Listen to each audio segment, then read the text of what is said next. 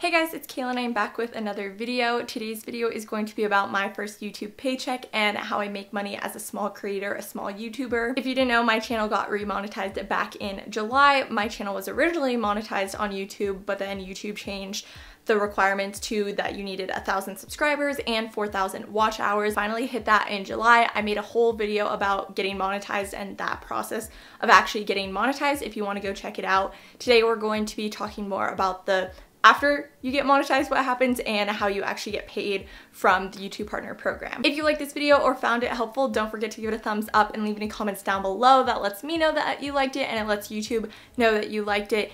And if you're new to my channel, don't forget to hit that subscribe button wherever it is and stick around for more of my videos. So for my first YouTube paycheck since being remonetized, the total was $165.44. Let's break this down a little bit. So I got remonetized, I believe it was on July 9th. It was somewhere around there. And this money from this paycheck is from July 9th or whatever date that was until August 31st. So it was about a month and two thirds, a month and a half of revenue. Like I said, I was previously monetized on YouTube before getting remonetized this time. So I did have some money saved in my AdSense from that first time that I was monetized. So I already had that $35.11 from when I was previously monetized. That was just in my AdSense waiting to be paid out to me. And then I made $44.40 in July. So that combined was still under the $100 minimum threshold and YouTube does not pay you out until you get over that threshold. So I didn't get paid in August anything because I didn't make enough in July. For August, my views went way up. I had a few videos perform really, really well, like my iPad unboxing. If you want to see that video, it's over there. So my AdSense revenue went way up. One, because of that video doing really well, and two, because it was a full month. July was not quite a full month, so I didn't get as much revenue as I could have. And also, I don't think I went in and remonetized all of the videos that I could have um, and added in ads everywhere that I could have. So for August, I ended up making $85.93, which I did not expect to be making this much in a month on YouTube, especially just kind of starting monetization again.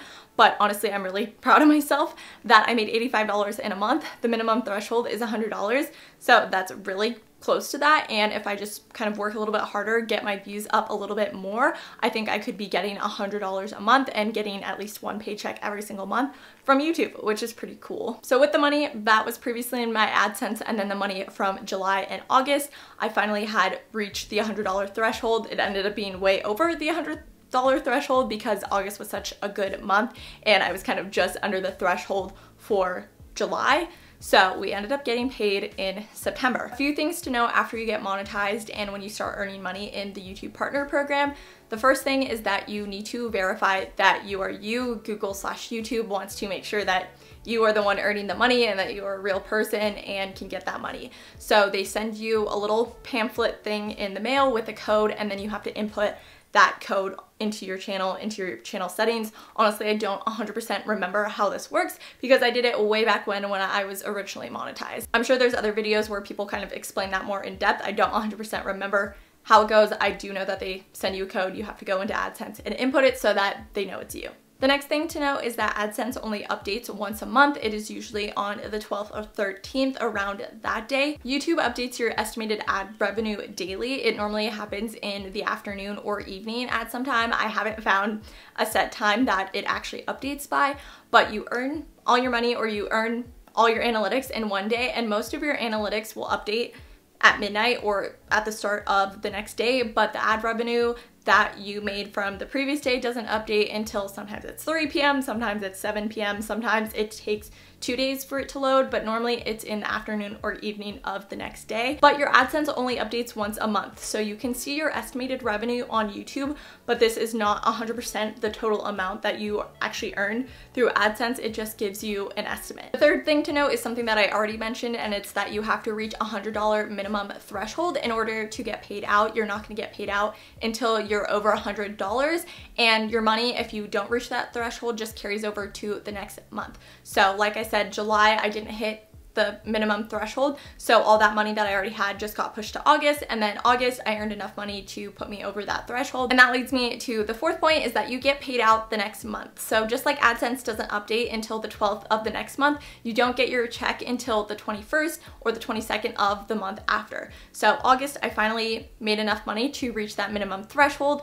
AdSense updated on the 12th of September, and then I got paid out on the 21st. This day is going to vary a little bit. If the 21st is on a weekend, normally pushes to the 22nd, but it is normally the 21st, 22nd. For most people, sometimes it's a little bit delayed, but for the most part, you should expect your check on the 21st. Now I wanted to talk about a few other ways you can make money as a small YouTuber, small creator. For me, the YouTube Partner Program has become my highest revenue source for YouTube. My small revenue, just keep that in mind. You don't make a ton of money as a small creator. I also find it is the most consistent. While it's not a ton of money that I'm earning every day, it is normally around $2.80 for me every single day. So that I just know is going to be there. It might fluctuate a little bit up and down, but for the most part, I'm consistently getting that every single day. The next way I make money is through affiliate links. Before I got monetized, this was the only way I was monetizing my channel, but now that I'm monetized, I have two kind of main sources of income from YouTube. A few things to know about affiliate links. Number one is that it is not consistent. My YouTube 28 day estimated revenue pretty much stays the same every single day. It might fluctuate up or down just a little bit,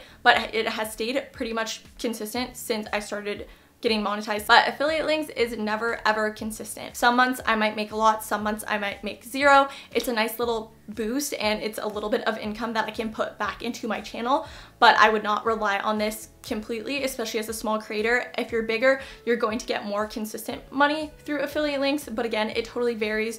You might have a really high month, you might have a really low month. You can't kind of predict what it's going to look like. The next thing to know about affiliate links is that it takes a very long time to actually get paid out your affiliate money. YouTube, it does have a month delay to getting your paycheck when you get that minimum threshold, but affiliate links, it's normally much longer than a month. It could be up to 60 to 90 days before you actually see that money that you make through commissions through affiliate links. And the last thing to note is that there are a ton of different affiliate platforms out there, linking platforms out there, and you kind of have to do your research and see which ones you qualify for and which ones are going to work best for you. The first one I use is Amazon. Pretty much anyone can qualify to become an Amazon associate. It's pretty easy to apply and get approved but Amazon has a lot of rules when it comes to their platform and you really have to pay attention to the rules and regulations and what you can and can't do with Amazon affiliates. The second affiliate program I use is Reward Style. This one is a little bit harder to get approved for than Amazon, but it's still pretty easy. Most people I know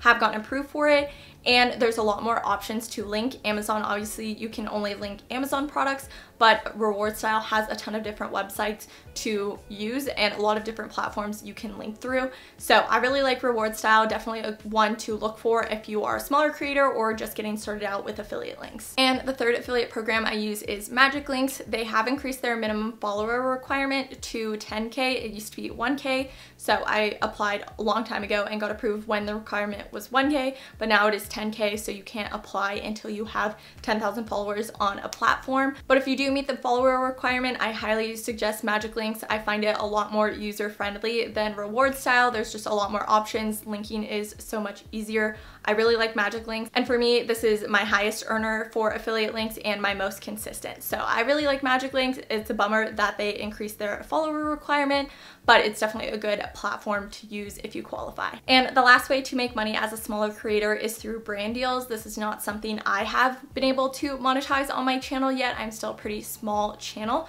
but I have seen other people be successful through brand deals as a small creator. So you just have to be really specific and targeted with what companies you're working for and what companies you reach out to. Obviously, as a smaller creator, you're going to make a lot smaller of an amount through brand deals than a much bigger creator, but you can successfully get brand deals, paid brand deals. It's just going to be a smaller amount and it probably won't be as consistent, but I have seen some other smaller YouTubers, smaller creators be successful with getting brand deals. That is it for this video. I hope it was helpful if you are a smaller creator and you're trying to figure out how you can make money or how much money you can make through the YouTube partner program. If you like this video, don't forget to give it a thumbs up, leave any comments down below, and subscribe to my channel if you are new.